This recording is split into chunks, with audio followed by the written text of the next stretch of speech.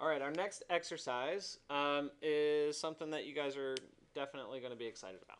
Okay, we're going to start looking at attractors, attractor points, um, or other people call it magnets. Um, but what it does is it allows you to create a dynamic pattern using points and curves and stuff like that in order to manipulate how certain things are, are behaving. You know, whether they're extruded or scaled or um, you know the radius of things. So um, what I'd like you to do is um, turn all that stuff off. You can keep working in the same um, definition if you'd like, but we're going to create another square grid. So you could actually just copy this down if you'd like.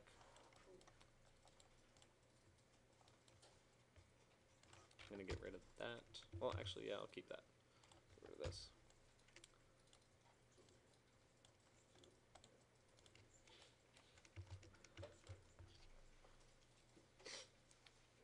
Okay, now um, I'm going to introduce a different concept to you um, because what I want you to understand about um, the square grid is that it's not always the the type of information that you want to generate.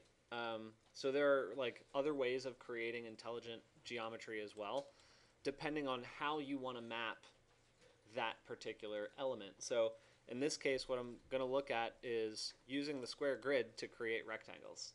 So, um, well, points. Let's see. What are these points? Are they center points? Grid corners. Why do I want to do it this way? Um, okay, well, we'll just do it. So uh, let's go to um, curve, primitive, and we're going to pull a rectangle. And uh, I'm going to plug this into P. So what it's doing is it's creating a rectangle at the center point of each of those um, intersections along the grid. And I chose to do it that way because it's a little, it's basically the same thing as like a divide surface. Um, so it reacts on center points rather than on cells. Okay, so we're creating this geometry. So what I want to point out that's a little different is that for the x and the y inputs, it actually says it's the dimension of a rectangle in the x direction. So what are we going to put there? Number slider. Okay, let's try it. 0 to 2.0. Put it here, put it there, and let's slide it up. Actually, you can make a larger one. I forgot that my cells are really large.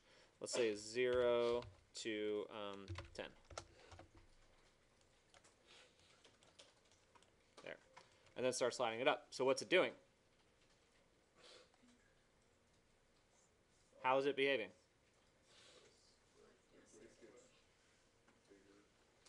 Right. Uh, well, the square is getting bigger, but it's tied to that point, but it's only moving in the what direction?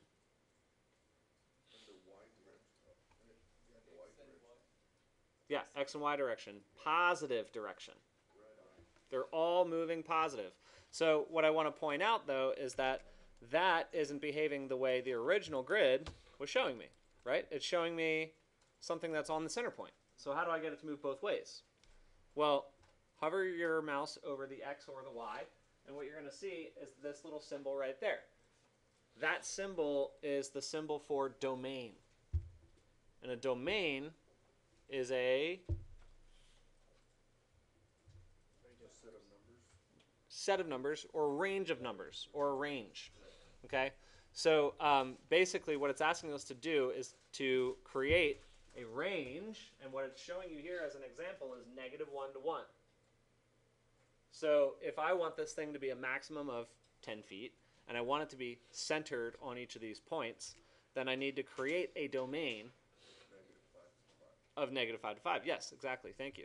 Um, so under math and under domain, we can do what's called construct domain. And construct domain is going to output a value. In this case, it's saying 0 to 1.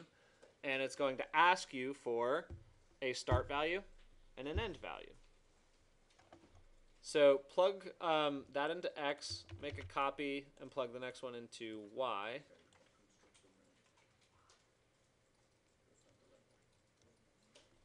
actually, we're using squares, so we can just use one. So, um, and then we just have to create a value. So we're going to create a negative 5 and a positive 5. We could do that using two separate panels. Negative 5.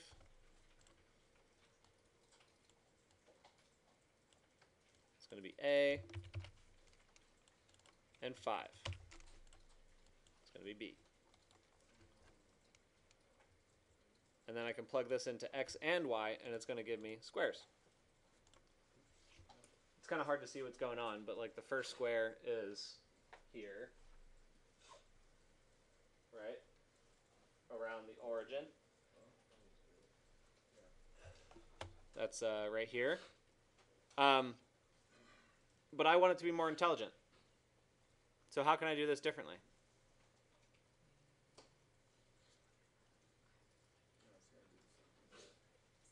Anybody?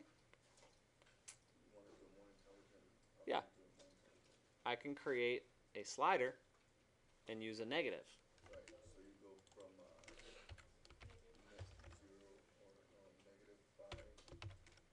We can actually say 0 to 5 on the slider.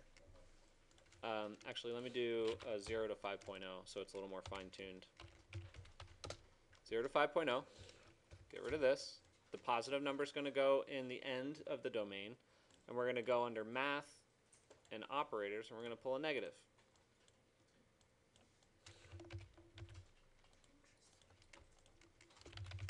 Math ops. Put it in there. So now that is going to behave the same way because this is the same number, but it's just a negative version of that number. Negative 1.1, positive 1.1.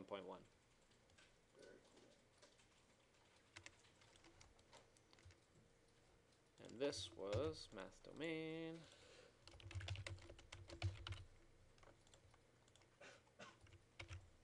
Curve primitive, right?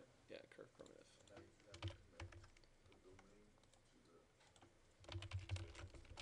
Curve primitive. All right. So um, this isn't really the the part of this um, overall like attractor points thing that I wanted to show you, but I wanted to show you most importantly like how the domain feature uh, works when it's just like a numerical range. Uh, since we were talking about domains yesterday, um, so I'm going to close this video and then move into the attractor points.